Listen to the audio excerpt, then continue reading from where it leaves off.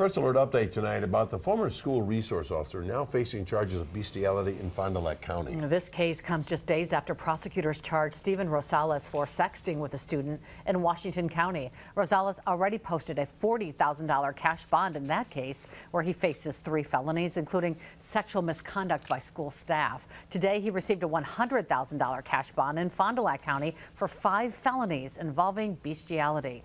Brittany Schmidt gives us the latest details on this case in a first alert update. Brittany.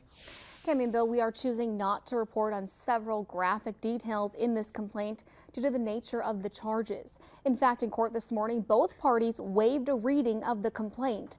But I will tell you, Rosales is accused of having sexual contact with his dog on multiple occasions between 2020 and earlier this year.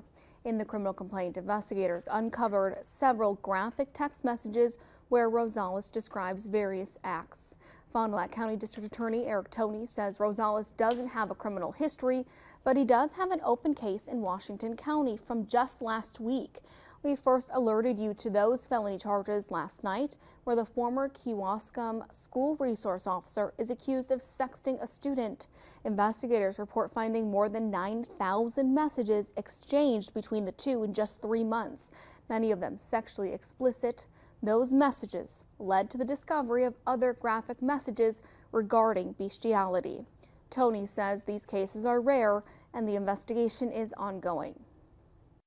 I'm not going to comment on anything we, we may do in that regard. It's fair to say with cases in general, investigations are always ongoing. Uh, just because uh, somebody may be arrested or charged doesn't mean law enforcement stops an investigation. There are times where folks come forward with, with more evidence or information and certainly it'd be the same in this circumstance if anybody has any additional information that they believe law enforcement may not know or should be aware of. We would encourage them to reach out. Today in court, Rosales' defense attorney tried arguing for a lower bond, saying his client is not a flight risk and his family needs him. Rosales told investigators he, quote, has been under a lot of stress lately at home due to his wife's high-risk pregnancy. Rosales is due back in court next month. Cami Bill.